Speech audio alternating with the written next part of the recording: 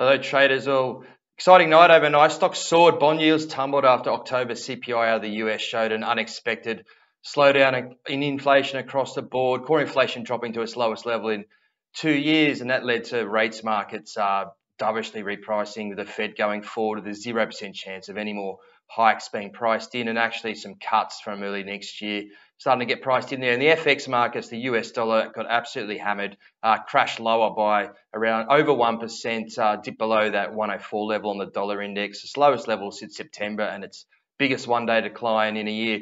The next support level to the downside, really, in, the, in that uh, dollar index, I think would be the, the fib, uh, 50% fib retracement, and then uh, followed by the last swing lows of uh, around that 103 big figure there. The Aussie dollar um, had a a, a, big day, a big up day, and a weak US dollar, positive risk sentiment. Uh, Aussie US moving to the top of its three month range there and testing that major resistance at 65. Uh, Aussie traders, there's wage price index uh, for Q3 released 11:30 AEDT. Uh, significant rise is expected from the Q2 reading, so we could see some more volatility in the Aussie after that.